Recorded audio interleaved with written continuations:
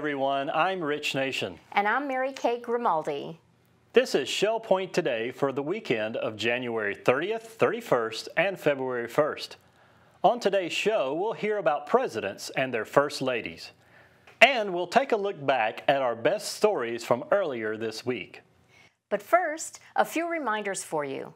It's the big weekend of the gala, so make sure your Friday plans include attending either the 245 or the 645 seating at the Village Church.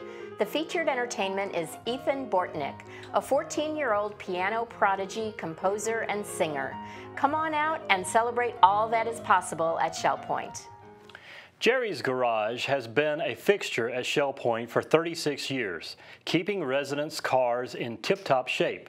It's been a great run, but the time has come for Jerry to hang up his wrenches. Due to a family health situation, this was Jerry's last week at the shop.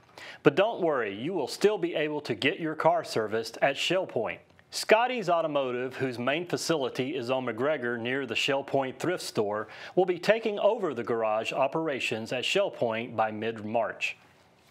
Starting in 1991, William and Sue Wills began researching, writing, and performing a series of presentations they called Presidents and Their First Ladies.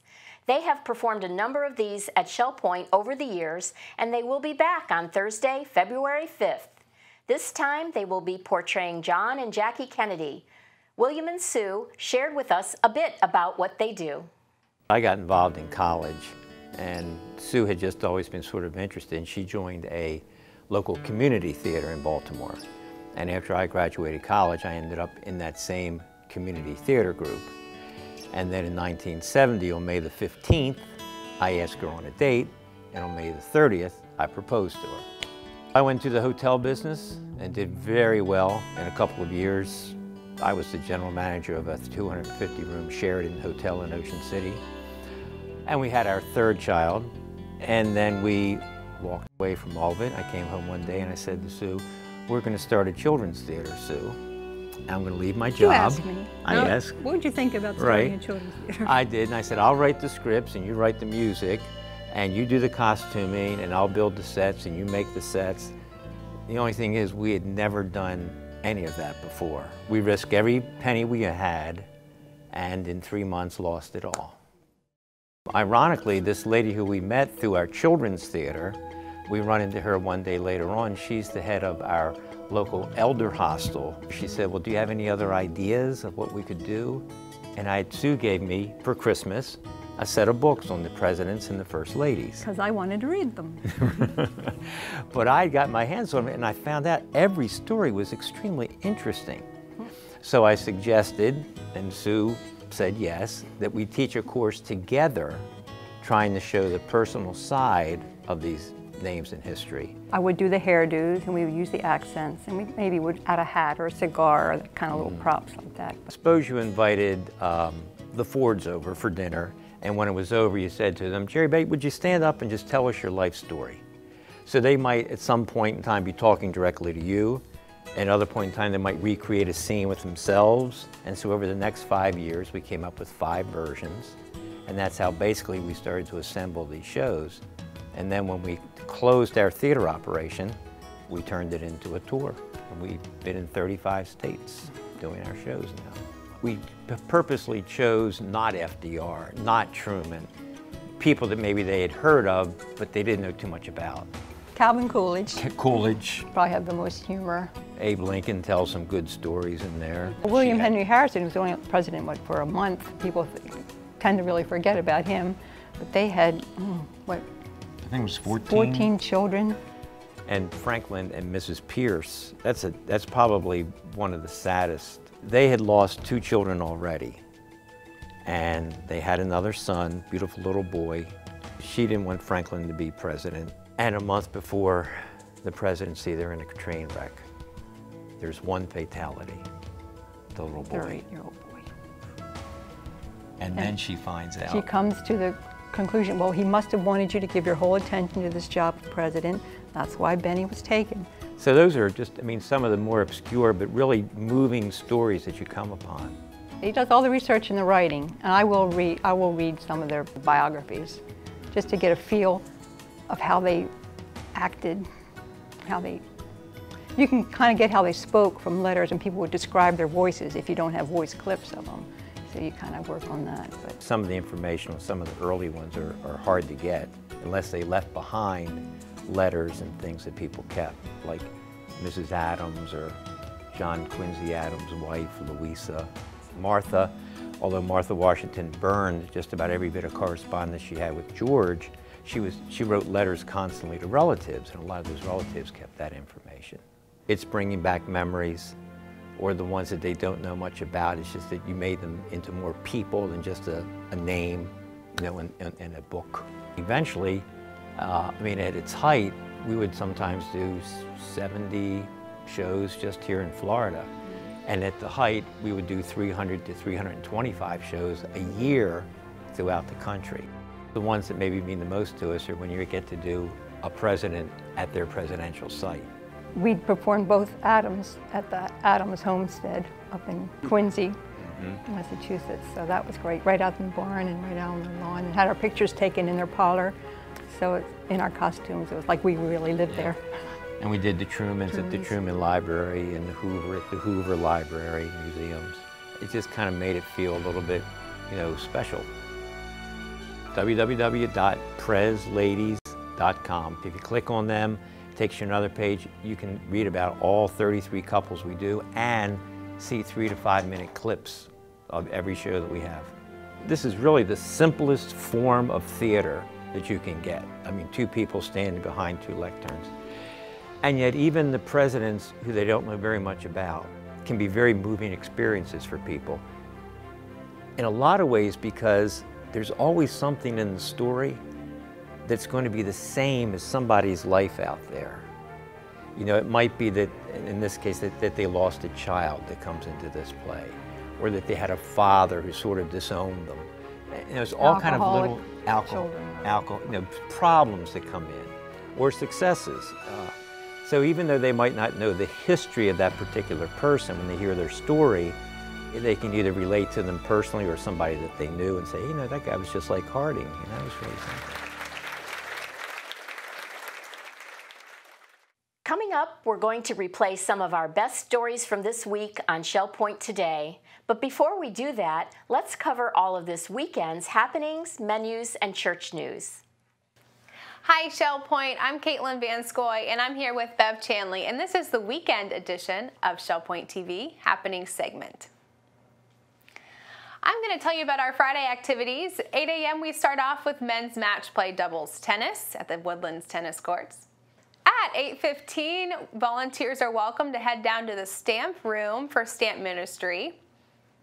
From 8:30 to 11:30 today, the Friday marketplace will be here in the administration courtyard.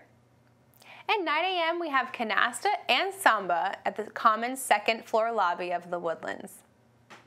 At 10 a.m., we have men's match play doubles tennis at the Woodlands Tennis Courts. And at 10:15, inquiring minds in the Manatee Room. We move to the afternoon, and 12:30 we start off with mixed progressive bridge in the Woodlands game room. And at 1:15, advanced table tennis in the Tarpon room.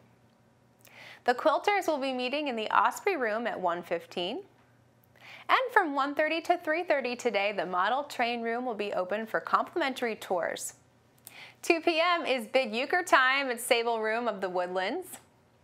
And at 2:15, come out for water volleyball at the LifeQuest Aquatic Center. 2:30, we have Latin size in the Health Club. 2:45 is the first seating for the Gala 2015 Possible. That's the theme, and it's in the Village Church, and you do need to RSVP for that. Also, 2:45, Great Decisions will be meeting in the Manatee Room. And pickleball is being played at 4 o'clock at the pickleball courts. And 6:45 is game night at the Resident Activities Center. And 6:45 is the second seating for the Gala 2015 possible theme in the Village Church, and you do need to RSVP for that. Here's Bev for our Saturday activities. Thank you, Caitlin. Saturday starts off at 8 o'clock with pickleball at the pickleball court. Also at 8 o'clock, we have the round robin doubles tennis at the Woodlands tennis courts. At 9.30, more tennis. We have men's and women's doubles down at the tennis courts. At 9:45, we have Duplicate Bridge being played in the Manatee Room on the island. And the Model Yacht Sailing Club will be at the Garden Apartment Pond at 10:15. At 1 o'clock, we have chess. That's played in the Library Lounge at the Resident Activity Center. And then at 1.15, we have Scrabble. That's in the Library Lounge as well. Table tennis will be played in the Tarpon Room at 1.15, and you can play all weekend unless otherwise noted. At 3.15, we have basic line dancing. That's in the Health Club on the island. 6.30, we have duplicate bridge in the Manatee Room. And that's our last activity for Saturday. Here's Caitlin for your Sunday activities. Thanks, Bev. We start Sunday off with 9 a.m. Christian Life Studies. It's offered in the Woodlands Game Room and also at the Village Church. 10:15 is a time for morning worship in the Village Church.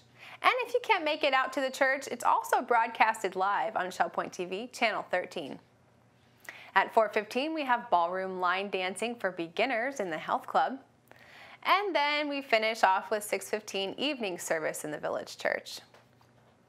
Well, thank you for joining us for our weekend segment. We'll see you right back here tomorrow. Hi, I'm Terry Kolath with your Academy information for the weekend.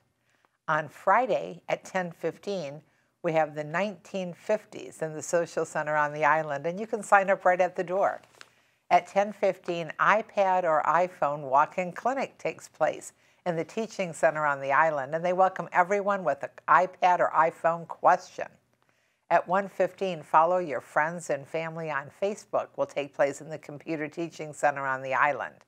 And next week on Monday, we offer Skype with Joe Kramer of Lakewood, iPhone's Contacts app with Bruce Findlay of Sundial, Better Communications with Email with Russ Cray of Oakmont, The Story of New England Whaling, Session 2 with Seth Mandel of Tellidora. On Tuesday, we have Writing Memoirs on the Computer with two Lakewood ladies, Lucille Peterson and Marty Gibson. The history of the Middle East begins with Professor Adrian Kerr, and Bruce Findlay of Sundial will teach iPad apps. On Wednesday, we have Travel the World virtually with Larry Brock of Eagles Preserve. And Susan Willoughby begins session two of intermediate bridge classes. And no, you do not need any other sessions to begin this class for intermediate bridge players. We also have You've Got Windows 8 with Floyd Jamison and Vintage Classics with Dr. Harriet Furton Reese of Junonia. On Thursday, protect personal information on your computer with Jim Plummer of Parkwood, an iPad e-reader class with Penny Modridge of Nautilus, and Education in America with Dr. Gary Chesley. On Friday, Gerald Zeidenberg will present Margaret Thatcher. Menus for Friday, January 30th. In the Crystal Room, the platter is a mixed seafood pasta with garlic toast and roasted carrots. The dinner is seafood buffet for $15.95. The soup is New England clam chowder. On Friday in the Island Cafe for lunch we have grilled meatloaf sandwich on rye with fries for $7.25, and at dinner it's chef's choice for $8.25. And in the Palm Grill on Friday we have lamb chops for $22.95 or fried oysters for $16.95. On Saturday the Crystal Room is closed. The Island Cafe for Saturday, January 31st at lunchtime has an Italian sausage with peppers and onions on a sub roll for $7.25. And for dinner, it's sauteed beef liver with sauteed onions and mashed potatoes for $8.25. Saturday at the Palm Grill, as usual, is prime rib for $19.95. On Sunday, February 1st, the Crystal Room has its Sunday brunch for $17.50. The Island Cafe has for lunch a hamburger patty with fresh fruit, cottage cheese, and sliced tomato for $7.25. For dinner Saturday in the Island Cafe, it's chef's choice for $8.25. And the Palm Grill is closed on Sundays. All menus are available 24 hours a day at shellpoint.net. Hi, I'm Andy Hawkins, the senior pastor of the Village Church, and welcome to Village Church Connections. And I'm here to talk about our weekend services. And as usual, we certainly have a lot that is planned for the Lord's Day this Sunday. Uh, obviously, we start out with the Christian life studies, which take place at 9 o'clock in the hospitality room, and so we'd invite you to come as we continue to follow up from our Global Impact Week theme of the joy of access, which has been a wonderful way of spanning the globe with our international perspectives. And then the Sunday morning service, I'll be preaching out of our series in Hebrews called The Superior Christ, a message entitled A Covenant Written in Blood. And it's Communion Sunday, and so we're going to weave uh, that message into the communion activity so that we'll recognize what the blood of Jesus accomplished for us in a wonderful way. So I think that's going to be an exciting part and dimension of our worship service. The choir will be singing, and we'll have a wonderful opportunity to be in the presence of the Lord. And then on Sunday night at 6:15, we invite you to come back because I'm going to begin a new Sunday evening series, which will uh, pop up from time to time as uh, we uh, alternate it with other special events that we have this time of the year on Sunday evenings. And it's a it's a series entitled "Who Is God." Uh, this is a, this is a study that really has to do with the nature and character of God. I think if there's one thing that uh, needs to come from a pulpit like the village church pulpit, it's a clear recognition of the person of God Himself. This is theology proper. This is trying to understand uh, the nature and character of the God we worship. And I think it's uh, amazing to me how I run into people who misunderstand who God is or diminish his capacities. But on Sunday evenings, we're going to uh, recognize the, uh, the power, the wisdom, the grace, the goodness, uh, even the wrath of God from time to time will be able to see the full dimension over a period of time, the nature and character of God. And so we hope you join us for our worship services on Sunday morning. Uh, the Superior Christ, a covenant written in blood. Join us for the Lord's Supper Sunday evening, the beginning of the series entitled Who is God? And we'll delight in your presence as we find the presence of the Lord so valuable to us. God bless you, and we'll hope to see you soon. And now it's time to look back at stories from this week. The quilt show is coming up. We got all the information from the ladies in charge. Hello, I'm Melody Desolé, Volunteer Coordinator here at Shell Point. I am joined today by two very special women, and we're about to talk about the Biennial Quilt Show. It's upcoming and it's going to be exciting. I have Elaine Neighbors here from Rosemont, and I'm also joined by Pat Meredith from Sundial. Thank you, ladies, so much for joining me today. You're welcome. Well, first things first, Elaine, we have to have a quilt to actually have a quilt show. So we're going to talk about the registration form, which you were so kind as to design for us. Would you please talk a little bit about the form and where our residents can pick those up? Yes, Melody, I have the form here with me, and it is for the show, which is March 7th through the 9th. And all these forms will come back into me once they're filled out, and they can be picked up at both registration desks at the Woodlands and the Island. And they are due back to me by February 2nd, and that is the, the deadline because it is uh, important that we have all the information by then. The quilts can be of any size. Um, if they're large quilts, they will have to have a sleeve on them, and the form is self explanatory and my phone number is on there. They can call me if they have any questions at all. Um, we are this year inviting the employees to help um, to bring in their quilts if they'd like to show them. We'd love to have them. And we're looking forward to a successful show. So Elaine, in the past we've seen everything from a placemat to a king-size quilt. And the talent here is astronomical as everybody has witnessed and as we will see in this upcoming show. You had said the registration form is self-explanatory. Um, important to note is probably the bottom portion. Could you explain that?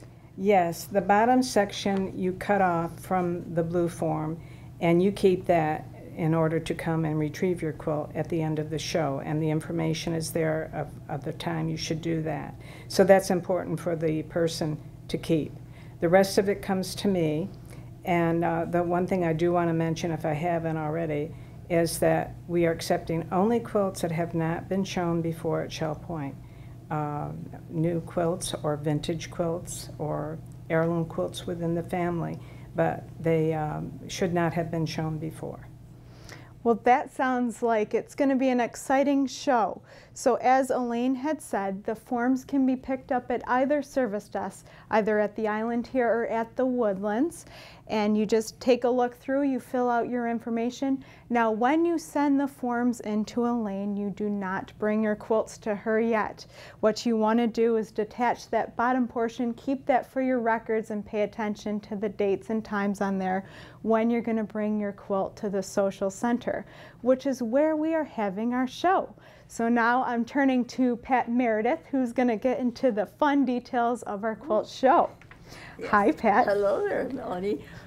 What fun things do you want to know? Remember, 7th through the 9th of March. Okay. So, what days of the week are those? Saturday, Sunday afternoon, and Monday. And on Saturday, it's 10 to 4. Sunday it is 12 to 4 and Monday it is 10 to 2. So different times on each mm. day, so you want to pay attention to those, which you can see those in Shellpoint Life and the weekly publication, and of course on TV. Correct. Which we are on TV right, right now. now. Hi, Mom. so, Pat, tell me what our viewers can expect to see in this quilt show. Well, some of us are going to be surprised too because we haven't seen all of them. They've been done. The challenge is the only one that they will be allowed to vote on, and that will be done by them. That will directions will be there at the show. We can have everything from placemats, we can have large quilts, we can have the vintage quilts, we can have surprise quilts. Uh, you never know what's going to show up and sometimes it's exciting, and sometimes you think, oh my goodness, maybe this is something special. Oh, I love that. I love surprises and I love special. You love special, okay. yes, so you had mentioned that there is a challenge that the Quilters Club gets together. They don't know what the challenge is from each other, but Correct. they work as individuals. Right. And they will see the challenge themselves the Friday before we hang it so that we don't spend all our time oohing and awing and not doing our jobs. But, so they will, but that will be there for them to vote on if they care to. They don't have to. It's not a mandatory type thing. So when viewers come to view the challenge, they can vote on their favorite. Is that correct? That's correct. That is correct, and we hope they do. Wonderful. Um, some, challenge is always a challenge, and sometimes you know, a little harder than others. So. well, quilting would be an extreme challenge for me. I have no idea, but I can appreciate the talent and workmanship that goes into each piece. Now, I do have a question. I heard a little birdie told me that there may be, for the first time, a few items for sale at this show. There will be two quilts for silent auction or bid. And one is a baby quilt and one is a full-size quilt. And they can put their, what they would be willing to pay for it, and whoever gets the highest number on that page gets the quilt. That so. sounds like a grand idea. So no cashier checks are involved. You don't need to bring money to the show. But once the show concludes, the highest bidder of both items will have to come and retrieve their quilts. Is right. that correct? And they will be notified by telephone number number that they leave on the form, and uh, that way they will get the quilt they want. That if they put fantastic. the highest bid on, and we like bids.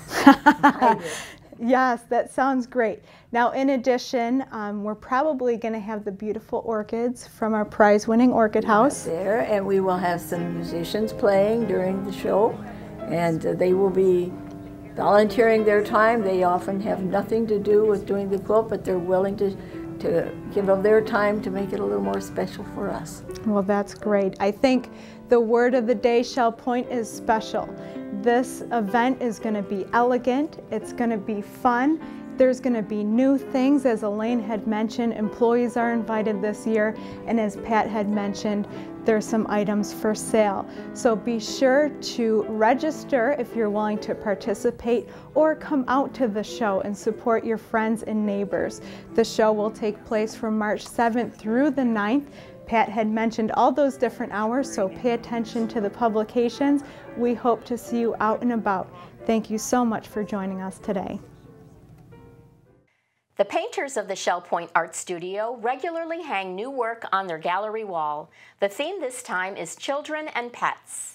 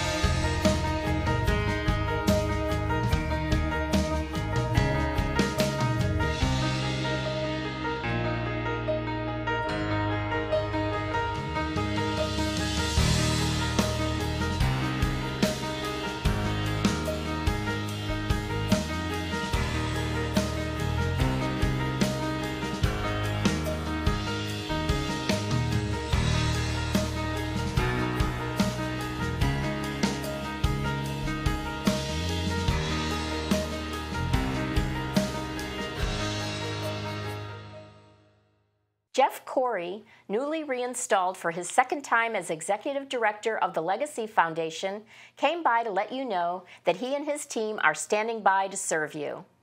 Hi, my name is Jeff Cory, and I'm the new executive director of the Legacy Foundation here at Shell Point. Some of you may know that I first began serving at Shell Point over 20 years ago and later helped found the Legacy Foundation in 2001. It's great to be back home.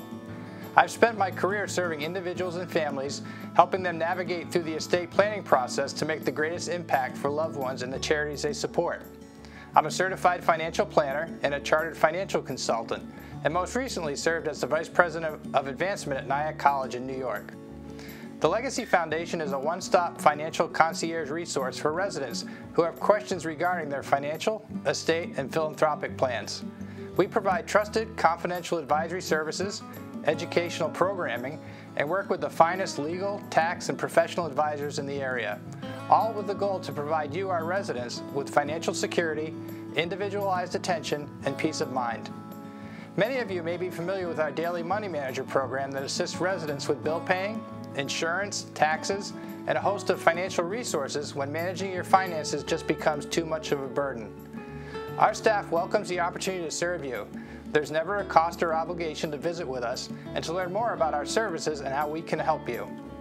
An important part of the legacy service is reviewing current estate plans including wills, trusts, powers of attorney, and advanced healthcare directives.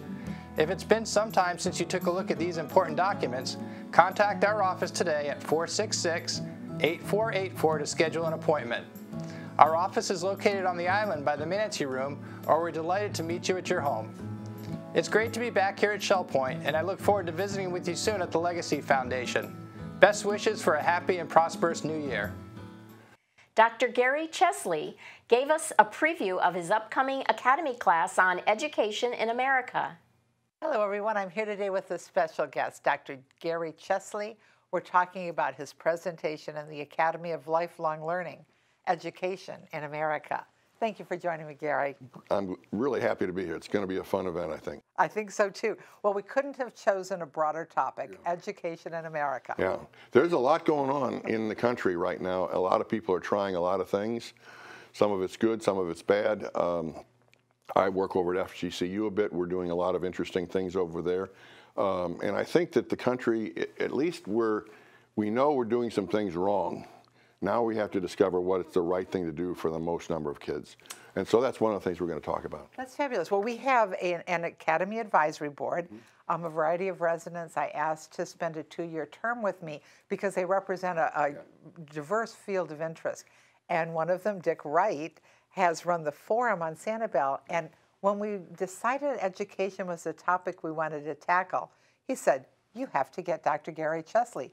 He's right over on Sanibel right now. So tell us, who is Dr. Chesley? Well, I'm originally from St. Louis. Mm -hmm. I was born and raised there, big Cardinal fan. I started as a teacher, coach, um, athletic director, um, principal, and then I uh, went to Denver, Colorado, and I started as a public school there that had been sitting vacant as a high school for two years because of circumstances that were beyond anybody's control. It was not too far from a toxic waste dump, and so uh-huh. people didn't want to send their kids there. So we started a school there.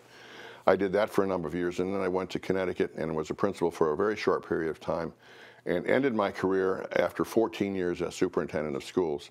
So I've done that. i am working, uh, have worked with the uh, Connecticut Department of Education they have 12 universities in Connecticut that prepare teachers, and so I've done that, trying to change the nature of teacher education uh, so that we prepare better teachers. 50% of our young teachers quit in the first couple of years. 50%. We need to stop that. So we need to better prepare them. And so that's my interest, and that brings me to FGCU right now. So I'm having fun doing all this. So, an athletic director, that brings to mind motivation. Yeah. Motivation must have been kind of a key point that has taken you so far in the realm? Yeah, you know, I, my father was a motivating character to me, and uh -huh. when I was a young man in St. Louis, I we moved there, and and it shows you how things are supposed to happen.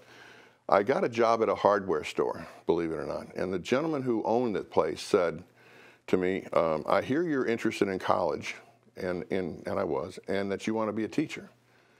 And I said, Yeah, I do. And he said, Okay, I'll make you a deal Uh, my pay at that time was uh, $2.25. That was the minimum wage at the time. He said, if you go to college and enroll in an education program and stay in there, I'll pay you $5 an hour every time you come back here for a vacation, for a long weekend, for the summer. If you change majors, you're fired. Oh. So that's how that was motivating. Yeah. And then I, in turn, was motivated when I became principal of that high school some years later. I invited him to my first graduation, and he sat in the front row. so he got to see the whole thing go full circle. It's a wonderful story. Yeah. Well, when we think about education, every single person who pays taxes invests in the education. Yeah. Everybody who invests in education invests in our future. No wonder we're all so concerned about what our, what's happening with our money. Yeah, and you know, one of the things that is interesting as I've gone through and prepared for this uh, presentation, um, I've read a lot, and and I, it's not that I've found anything that I didn't know, but it confirmed a lot of things. There's so many things we think we know as citizens and taxpayers that aren't quite right uh-huh. about teachers and about schools and about competition and about the, the way uh, things are structured and about the nature of, of poverty and how it affects and about all these test scores that you hear things about. So that's one of the things that I want to talk about is, you know, what do you think you know that's uh-huh. not quite right? And I, I know people will walk out of the presentation saying, you know, that guy was pretty smart. He figured this out. That's wonderful. Well, when I think about a teacher, and I am a teacher, we all have a teacher in, in yeah. mind, you know, in our memory, yeah. who was very, very special to us. And, and we, we kind of think, oh, they have it easy. They work nine months a year. They have a vacation. But when we think of what they actually do with our children, it boggles the mind, doesn't it? Well, I'll give you an example of that. Just yesterday, I spent my day over at Three Oaks Elementary School, which is out by the highway. Um, and I have seven students over there who are learning how to teach. And um, I think they started last week, cock, somewhat cocky, confident. I, have been through this. You know, I'm going to graduate in a few, uh, two months or so. I got this. And then we put them into a class of kindergartners all day. When I met with them at 2 o'clock, they realized they didn't have anything. They didn't have a clue. Um, and so we sat for an hour and a half and sort of processed with seven kids, what'd you see about behaviors. You know, you got a group of you know 18 year old, uh, 18 month, uh, 18 kids who just love life, and they want to share that life moment to moment with you as a teacher. So it, it's an exciting profession, and what we need to do is be much better at training these young people to be great teachers because you want to be that that anchor in a kid's life that, that they can point back and say, you know, Mr. So and so, Mrs. So and so made me who I am today and the way I think they got me started on the right track. Now, in our description, um, Gary, we said um, there, there's some important questions. How did schools evolve to where they are today? What do we think that's wrong? Which silver bullets didn't work? What 10 things can we do now?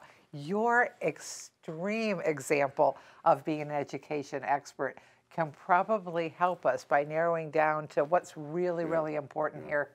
There, there. I'm going to lay out some things that that I think people will buy into. You know, we're we're largely in a very polarized society right now. But I'm going to, when we do this presentation, I'm going to throw things out and say, here's what I'm thinking. Can you agree with this? And I, you know, it's it's. There was a time when I when I was at the Rose Garden and my school got this big award and. Uh, Dan, and I'm going to tell this story uh, at the presentation. Dan Rather came up to me in the Rose Garden, and he said, uh, I understand from what I've read that you really have a national reputation and you're a great principal. And I'm thinking, okay, he's setting me up. There's, there's something coming here. And uh, he said, so what do you want for your kids? And I thought, well, that's a pretty profound question. And so I said, um, I thought about it and I said, I want four pretty simple things. And I, I said, okay, first of all, I want my graduates to be good kids. Okay? You know, you, you know, you're shaking your head. You know what a good kid means. We, we kind of know. If we, if we say that's a good kid, we, we kind of have a definition in our mind. That's one. Uh-huh. I want our kids to be able to make good decisions and appreciate that they're not always easy. And kids struggle with that. I want our kids to earn an array of op opportunities for themselves. Don't close doors. Have a work ethic. you know, and you're sh- you're shaking your head, which parents do that. You, when you hear that, you say, "Yeah, that's what I want." And then lastly, I want every kid that when I hand them the diploma, I want them to to feel like they owe the community something that they got to give back. That that's a burden that they have. I need to give back. So I used to say to my parents, so I'm handing this diploma, and the ceremony ends, and if you and I can agree that that kid of yours exhibits those four qualities, we've done a hell of a job. And that's what it's about. That's fabulous. That's what it's about. I look so forward to this presentation. I'm going to have fun with it, and I know the audience will. They will. So please make every effort on Thursday, February 5th. We only have Dr. Chesley for an hour and a half, 7 to 8.30, but we do have the Village Church Auditorium, so everyone is welcome. We hope to see you there. Have you ever been to a star party?